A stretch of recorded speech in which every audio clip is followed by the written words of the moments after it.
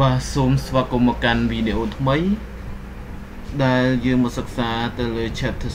6 The weather The weather យើងប្រែថាអាកាសធាតុ Unit 3មេរៀនទី3 The dry season អំពីរដូវថារដូវក្តៅ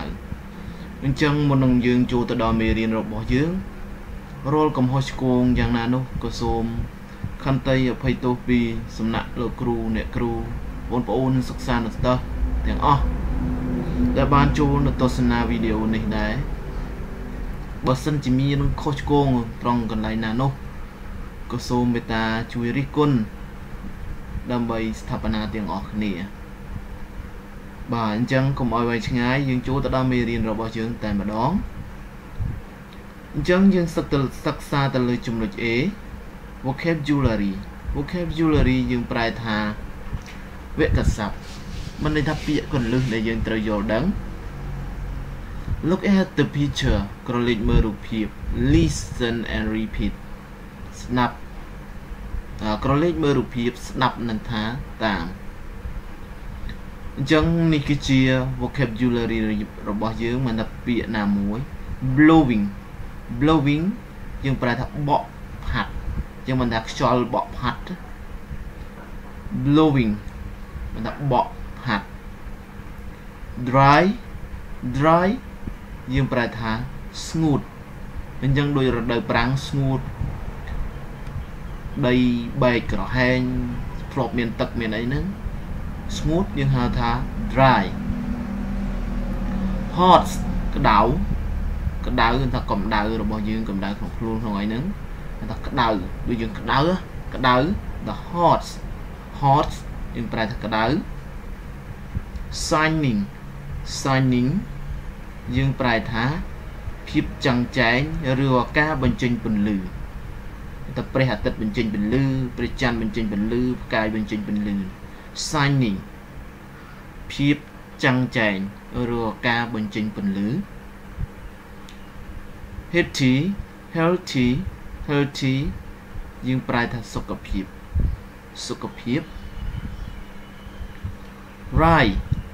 right យើងប្រែថាត្រឹមត្រូវ right ត្រឹមត្រូវ you are right ត្រឹមត្រូវណាស់ឬក៏ប៉ិតណាស់ right ត្រឹមត្រូវ still still យើងប្រែថានៅតែ team team នេះយើងប្រែថាក្រុមដល់បាល់ក្រុមបាល់ទាត់ក្រុមសីលក្ខណៈជាក្រុមដែលយើងហៅថា team enjoy enjoy យើងប្រែថាសប្បាយរីករាយស្មើនឹងពាក្យ happy enjoy សប្បាយរីករាយ sit sit យើងប្រែថាអង្គុយ sit down please មេត្តាអង្គុយចុះ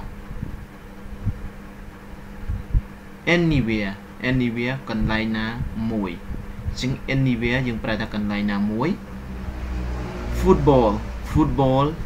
យើងប្រែថាបាល់ទាត់អញ្ចឹងយើងភាគច្រើនអ្នកណាណាក៏ចូលចិត្តលេងបាល់ទាត់ដែរបាទអញ្ចឹងយើងចូលទៅដល់មេរៀនរបស់យើងបន្តទៀតអញ្ចឹងចំណុច B គឺការ spelling អញ្ចឹង B នេះយកថា spell spell is word in the box with your partner ថាប្រកបពាក្យនីមួយៗនៅក្នុងប្រអប់ជាមួយដៃគូរបស់អ្នក spelling យើងប្រែថាការប្រកបអញ្ចឹងយើងចង់ឲ្យអ្នកណា spell ទៅលើពាក្យអ្វីមួយយើងនិយាយថា please spell the word dry dry is spell D O Y E អញ្ចឹងចំណុច E យើងសិក្សាទៅលើចំណុច E របស់យើងនៅក្នុងសិភៅរបស់យើងមានឲ្យស្រេចហើយពាក្យព័ន្ធទៅនឹង reading reading យើងប្រើថាការការអាន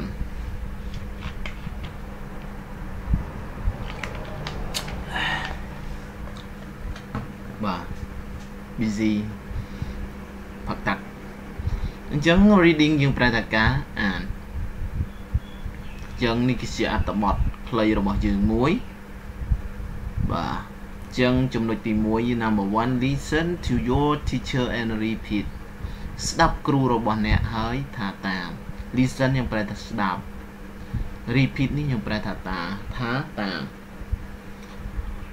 the most evening Dara spend one hour enjoying sport most evening most evening មានថាល្ងាចខ្ញុំពេលល្ងាចបំផុតម៉ោង5មកទៅចាប់ពីម៉ោង5ទៅល្ងាចហើយ most evening Dara spend one hour enjoying sport រៀងរាល់ល្ងាចគឺថារៀងរាល់ល្ងាចឬក៏ពេលល្ងាច តារាបានចំណាយពេល1ម៉ោងរីករាយនឹងការលេងកីឡា He plays football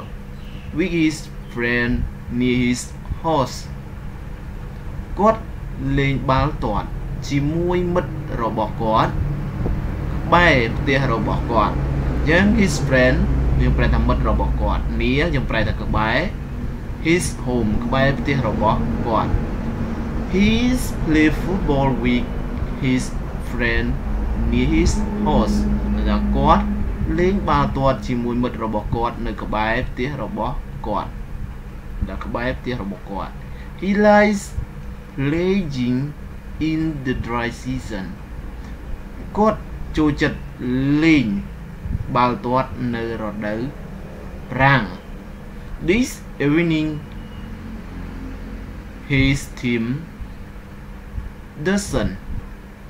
which but they still feel happy because sport makes them healthy healthy អញ្ចឹងល្ងាចនេះក្រុមរបស់គាត់មិនបានចូលរួមជាមួយដែលមិនបានចូលលេងជាមួយប៉ុន្តែ but they still feel happy ប៉ុន្តែពួកគេនៅតែមានអារម្មណ៍សប្បាយរីករាយ because sport makes them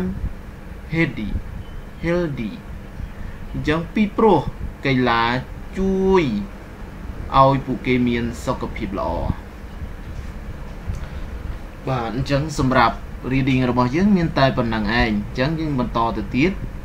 ដែលយើងសិក្សាទៅលើចំណុច C គឺ conversation conversation យើងប្រែថាការសន្ទនា Number 1 listen to your teacher and repeat ស្ដាប់គ្រូរបស់អ្នកហើយថាតាមយ៉ាង A ជាការសន្ទនាមួយរវាងរីណា Hi Rina សួស្ដី Rina Are you hot today សួស្ដីរីណាតើអ្នកក្តៅទេថ្ងៃនេះអញ្ចឹងសួរសួរមកវិញថាឆ្លើយវិញថា Hi Dara សួស្ដី Dara I'm hot ខ្ញុំក្តៅ because the sun is shining today ពីព្រោះព្រះអាទិត្យគឺកំពុងរះថ្ងៃនេះ You are right ពិតមែនហើយ It is the dry season វាជារដូវក្តៅរដូវប្រាំង Do you like the dry season តើអ្នកចូលចិត្តរដូវប្រាំងដែរឬទេ Yeah the sky is bright បាទចូលចិត្តបាទចូលចិត្តមេឃគឺភ្លឺល្អ It is easy to go everywhere បើថាវាងាយស្រួលទៅគ្រប់ទីកន្លែងបើន័យថារដូវប្រាំងនឹងគាត់ចូលចិត្ត ដោយសារតែមេឃនឹងវាភ្លឺល្អវាងាយស្រួលទៅគ្រប់ទីកន្លែងអញ្ចឹងស្រួលទៅដើរលេងគ្រប់ទីកន្លែង Where did you go in the dry season តើអ្នកនឹងទៅលេងនៅឯណានៅរដូវប្រាំង I go swimming with my family in the sea ខ្ញុំទៅហែលទឹកជាមួយនឹងដៃនិងគ្រួសាររបស់ខ្ញុំ នៅសមុទ្រ and you ចុះចំណែកអ្នកវិញ My mother and I like walking in the garden ម្ដាយរបស់ខ្ញុំហើយនឹងខ្ញុំចូលចិត្តដើរលេងនៅក្នុងសួនច្បារបាទសម្រាប់សន្ទនារបស់យើងត្រូវបានបញ្ចប់យើងបន្តទៅមុខទៀតចំណុចទីគឺ language focus language focus យើងថាភាសាបដោតយើងចង់ចាប់បដោតទៅលើអ្វីមួយយើងប្រើថា language focus add ing to the verb in the box to complete the sentences អញ្ចឹងបន្ថែម ing ទៅលើកិរិយាសព្ទក្នុងសៀវភៅបំពេញប្រយោគអញ្ចឹងនៅលើការបំពេញប្រយោគរបស់យើងយើងមើលនៅលើសៀវភៅរបស់យើងយើងយល់ហើយដែលយើងមានឧទាហរណ៍មួយដែរស្រាប់អញ្ចឹងខ្ញុំ ទៅផ្ដល់ចម្លើយឲ្យយើងតែម្ដងគឺនៅក្នុងប្រអប់ហ្នឹងវាមាន enjoy live uh, sit visit sign and run អញ្ចឹងទី1ដាក់ថា the sun is the sun is យើងរកឃើញទេ sign sign យើងទៅថែម ing យើងលុប e យើងដាក់ ing shining in the afternoon ព្រះអាទិត្យគឺកំពុងរះ នៅអីគេថ្ងៃត្រង់នេះ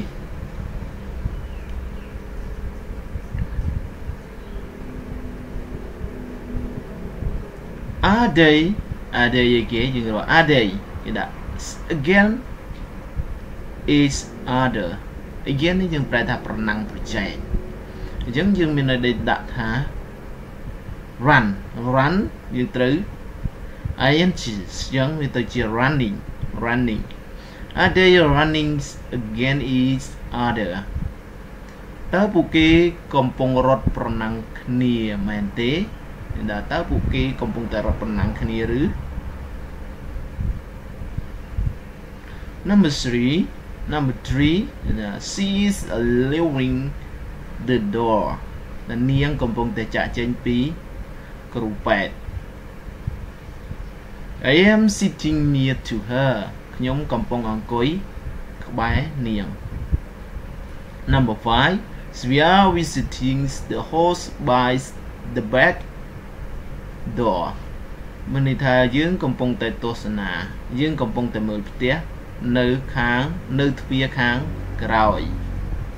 បាទអញ្ចឹងសម្រាប់ language focus ក៏យើងបានបញ្ចប់ដែរអញ្ចឹងយើងបន្តទៅមុខទៀត គឺសិក្សាទៅលើ F ចំណុច F និង G speaking យើងប្រែថាការប្រកបអញ្ចឹងយើងចំណុច F និង G នេះវាមិនមែនវែងឆ្ងាយអីទេអញ្ចឹងខ្ញុំប្រែនៅចំណុចនេះឲ្យខ្លះខ្លះ look at uh, picture and